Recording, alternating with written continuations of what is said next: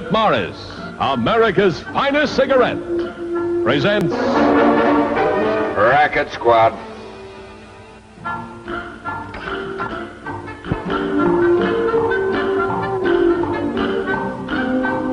Ready.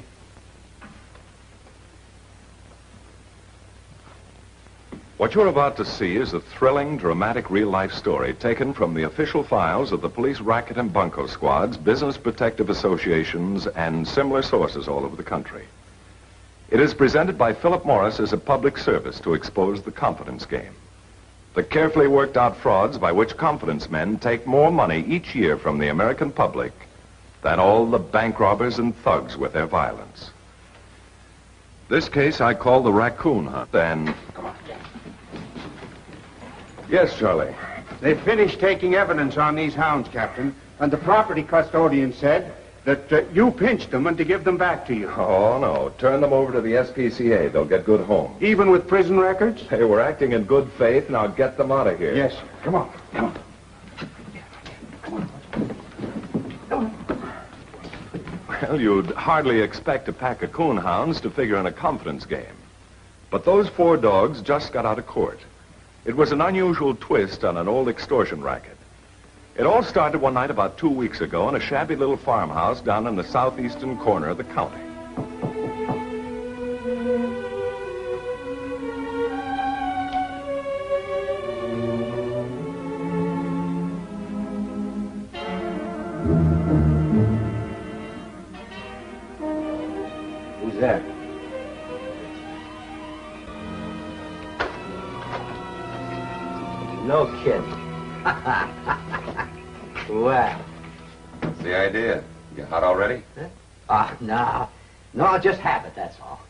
No, there ain't no flies on little Orville. He reports to his parole board twice a week, and he never, uh, Frequents. yeah, never frequents saloons, pool halls, or any of them other nasty places. Good. When'd you guys get out, huh? Last Monday? Where'd you get them clothes? Not in the big house. Oh, my old man staked me to this new set of threads. Now that I've paid my debt to society and turned over a new leaf. You've been out almost a month now, Green. Have you got anything cased? I got the sweetest little country store you ever see. It's a rural post office, too, and nobody running it but one old lady about 70 years old. Uh-uh. No post office. But it's a pushover. One little telephone line. We cut that, and it'll be next morning before the old lady can squawk. It's illegal to rob post office.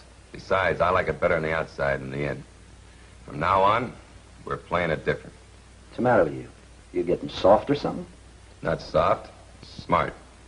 This time, we're playing it strictly safe. All right. Go ahead. I'm listening. Did you ever hear of a guy in town by the name of Ford Huntington? Who ain't? He's only one of the richest guys in town. We're gonna take him. How? He don't gamble. He, he don't run around with dames. All he cares about is hunting and fishing. I know. We're gonna take him on a coon hunt. Oh. Oh, and then uh, heist him, huh? No, nothing as crude as that. Get some glasses and a pitcher of water, and I'll explain the economic potentialities of a coon hunt. The econ... Uh... That's what I call making with the words, huh? Yeah, he swallowed a dictionary.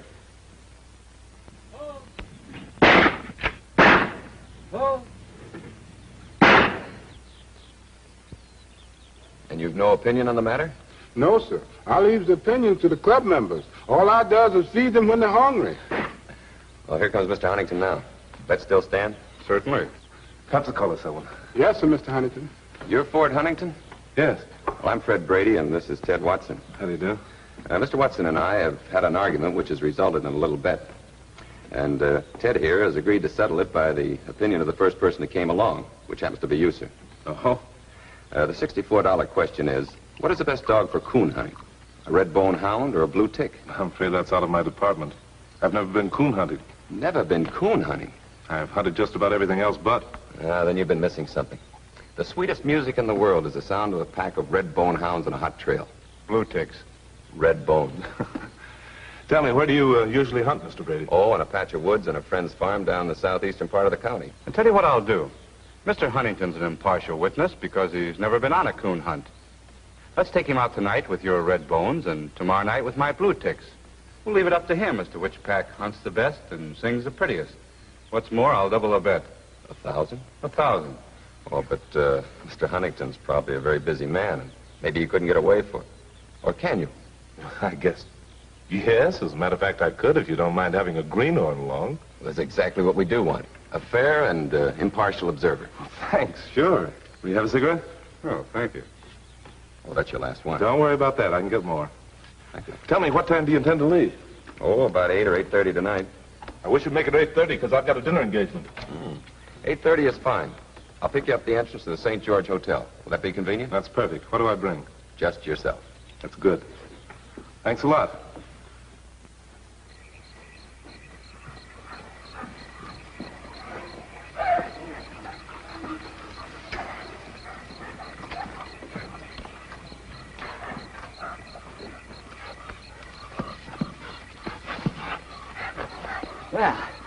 Sure didn't take him long. Now you're going to hear some real music. Might as well make ourselves comfortable. In this kind of hunting, the dogs do the work. Tell me, how do we know when they got the coon treed? Well, the dogs will tell us. That's for sure. Just listen to old Red. Don't he sing pretty? And that's Henrietta right behind him. Yeah. Beanie and Mistletoe right up in there, too. Uh, they're young, but mighty fine hounds. A Little mosquito lotion? Oh, thanks, yeah.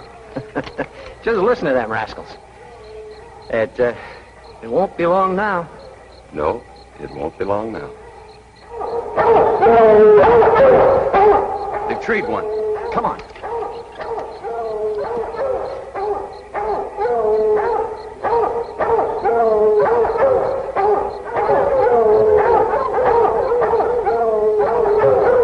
Well, there's your coon, Mr. Huntington.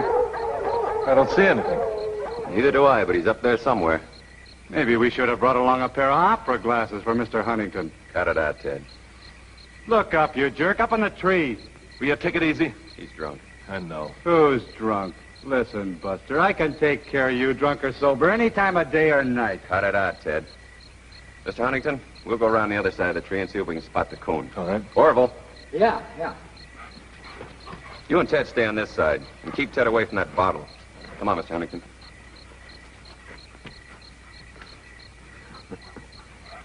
Ever see anything any prettier than this? So far, so good. Yeah. There it is, right up there. Be careful with my gun. It's got a hair trigger. But I don't... I don't see... We see just it. went around the other side of the trunk. Hey, Fred! Mr. Huntington! Hey, we're in trouble! What's the matter?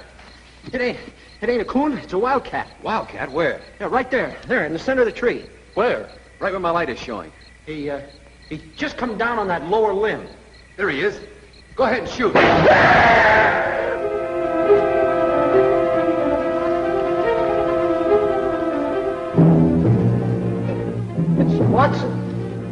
Killed him. No. Come on, let's get out of here. We've gotta get a doctor. Doctor, nothing. He's dead. You saw it. It was an accident. Of course, it was an accident. But listen, come over here. Orville you stay there? Of course, it was an accident. But who's going to believe it? I mean, a thing like this, anything can happen. Well, you were witnesses. We can prove it was an accident. We won't have to prove anything. Now, listen. I got a couple of big deals pending, and a story like this will ruin them for me. I'm going to slip Green a couple of hundred bucks and let him take care of things. And in that way, no one is going to be any the wiser. What about Watson? What about his family? Watson hasn't got any family. Strictly on his own, he'll never be missed. Believe me, this is the best way out. Wait here till I have a word with Green, and then we'll get in the car and beat it back to town. I don't know. Well, I do. And remember, you were the one that pulled the trigger. Wait here.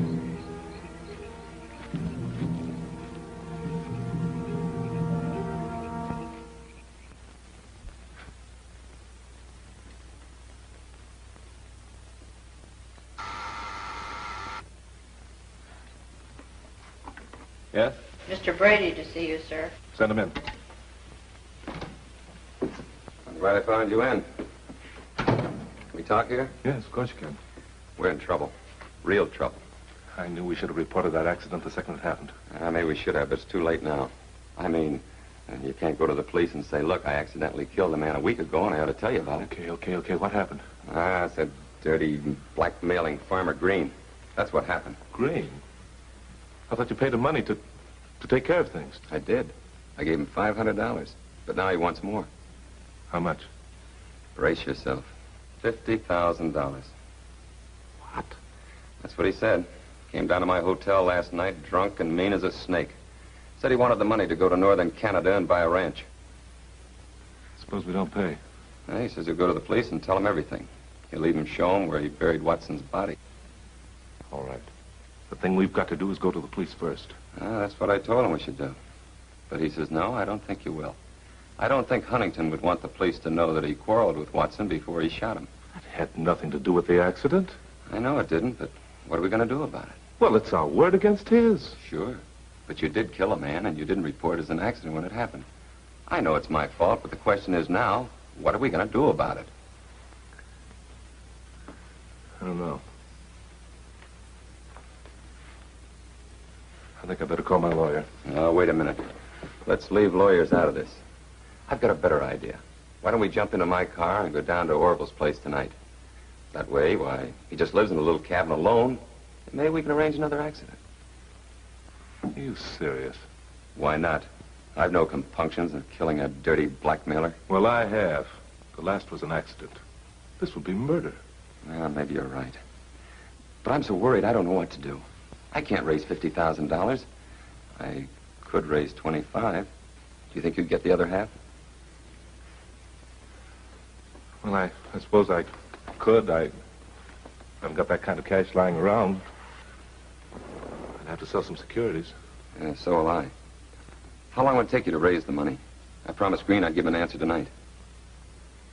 Tell them tomorrow night. Okay. But personally, I'd rather take care of it another way. I told you I wouldn't. I'm not going to have anything to do with murder at any price. All right. I'll meet you here tomorrow afternoon with my half the money. And I'm not going to say anything to anybody about it. And I hope you have enough sense to do the same. Yeah, I guess you're right. Okay, tomorrow afternoon. Okay. Tomorrow.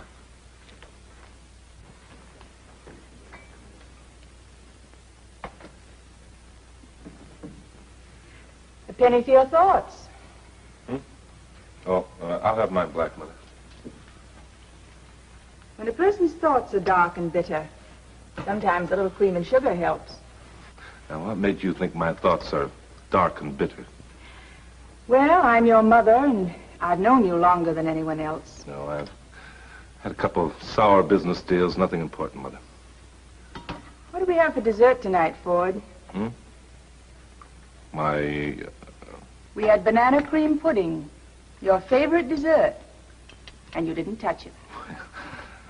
It takes more than a business deal to make you forget banana cream pudding. Oh, I don't want to pry into your affairs, Ford. It's just that you have a look on your face that frightens me. And it frightens me because I feel that you're frightened. You have a wonderful sense of imagination, Mother. I've been watching the expressions on your face ever since you were a little boy. And what I saw there tonight was not imagination. Mother, I told you it's nothing, nothing important. You never could lie to me, Ford. I want to know. I'm being blackmailed. Huntingtons don't pay blackmail. What happened? It was an accident, but I can't prove it. What happened? I killed a man. With your car? No, that was a hunting accident. Ford. Start at the beginning. Then Brady came to my office yesterday afternoon. He said Green wanted $50,000. It was up to me to furnish half of it. And did you personally examine Watson's body to see if he were dead? No, I, I didn't have to. The face was all covered with blood. A shotgun at that short range can... It wasn't necessary to examine him. A bottle of ketchup at short range can mess up a man's face, too. Do you mean, Captain, that this entire thing is a hoax? I'm not sure of that. But it certainly follows the pattern of an old extortion game. A new twist on an old confidence game. I didn't... You mean I didn't kill Watson? I'm not sure. But I'm sure enough that I'm not going to file charges against you for the present.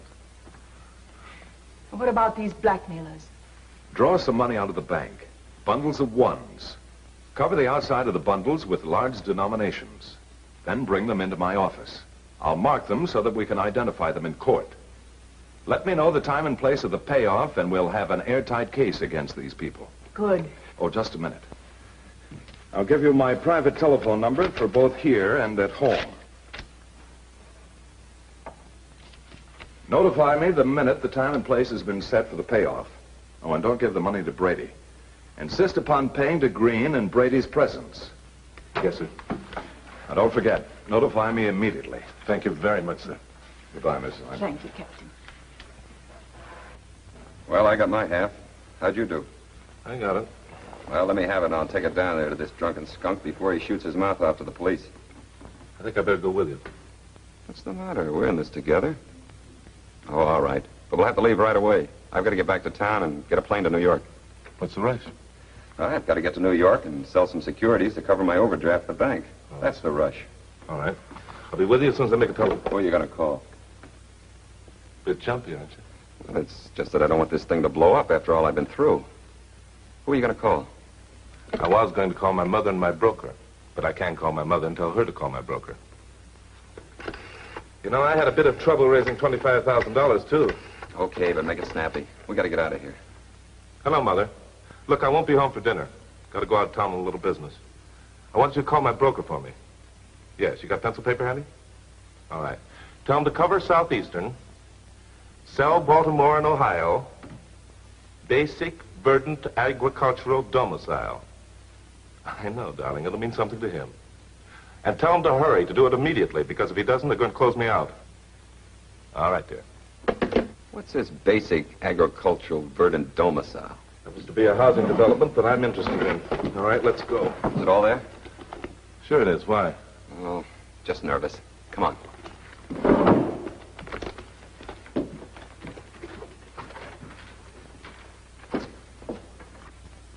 Well, I'm sure he meant the message for you, Captain Braddock, but I can't make head or tail of it. I'm quite sure I can figure it out, Mrs. Huntington. Now, don't worry. We'll take care of everything. And I'll call you as soon as we've made an arrest. Goodbye. Charlie, I want a large-scale map of the county on the double.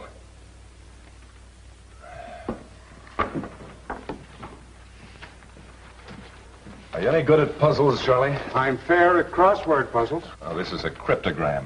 Let's see, cover southeastern. Now, that could be the southeastern part of the county. By Baltimore, Ohio. Sounds like a stock deal. Yeah, that's what it was meant to sound like. But I think it means the southeastern part of the county by the Baltimore, Ohio railroad tracks. Basic agricultural verdant domicile. That's Green's farmhouse. I don't get it. Ah, but Green will. Ah, here we are. Narrow country road crosses the Baltimore on Ohio at this point. The farmhouse should be right about there. Well, Peters. Braddock. I want a squad car, a couple of men, and Tommy guns. Call the sheriff's office and tell them to meet us at the city limits on the South Post Road.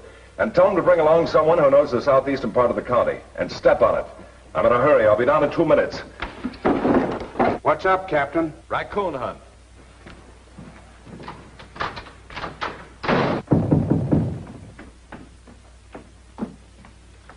Brady? Yeah. Come on in. Anybody follow you here? No. Hey, wait a minute. Anybody know you was coming? Certainly not. Good. All right. Give me the dough. All right, here's my half. Yeah. Aren't you going to look at it? Hmm? Oh, yeah, sure. Yeah, that's there. Now give me your hat. How do I know this is for the last time? What do you mean? How do I know when this is gone you won't be back for more? You just got to take my word for it, that's all. You can take my word for it. If you come for any more from me, you'll get lead instead of money. I ain't greedy. Guess you guys paid enough for your mistake. Now, give me. How about signing a piece of paper that uh, you won't ask for anymore? I ain't signing nothing. Go on, give it to him. I got to get back to town, get that plane to New York. I've got to have some sort of a guarantee. 25000 is a lot of money. All right, Buster. Here's your guarantee. Now give me the dough and beat it before I change my mind. Better give it to him.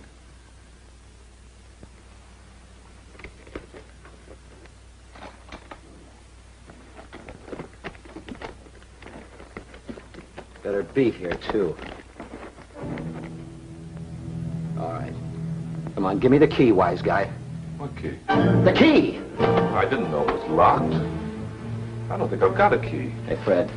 This guy's stalling. There's something wrong. Cut it open. Yeah.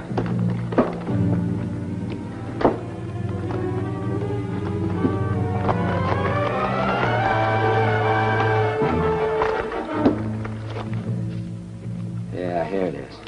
It, hey, what all these one dollar bills doing in here? Hundred dollar bill on top and singles underneath. Look.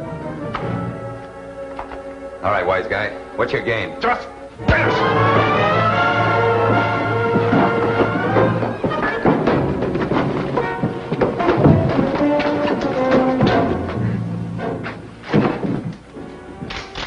Oh, Hold it, you stupid jerk. Nobody's gonna make a chimp out of me and live to brag. Hold it, I said. There's enough money there for us to make a getaway. I ain't holding nothing. Drop that gun, or do you want me to drop it for you? That's the one, Captain Braddock. That's the one I was supposed to have killed. Walking corpse, huh? Well, none of you'll be walking very far for a long, long time to come. Take 'em in, boys.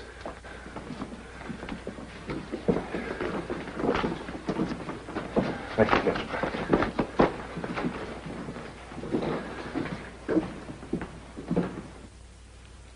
Mr. Huntington was lucky in that he had an intelligent mother who saw the futility of paying blackmail. If ever you're faced with the demands of blackmail, go to your police department and give them the circumstances. Regardless of the threat, the blackmailer is never satisfied until his victim is in his grave and beyond the reach of extortion. And remember, it could happen to you. Bring me the file of Mr. Xavier, please. Yes, sir. Thank you. In a moment, I'll tell you about next week's case and how you can be burned when other people play with fire. But first, let's put tonight's case to bed. Right now, you may be the victim of a racket and not even know it. Yes, right now, someone could be plotting a swindle that would increase your insurance premiums next year. And the man or woman might even be a respected member of your community. In next week's story, we'll meet such a person. Don't miss The Case of the Old Flame, one of the most dramatic episodes from the files of Racket Squad, and presented by Philip Morris, America's finest cigarette.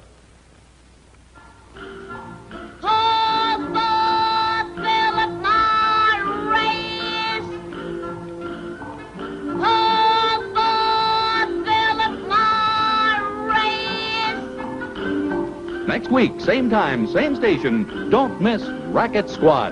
Presented by Philip Morris, America's finest cigarette.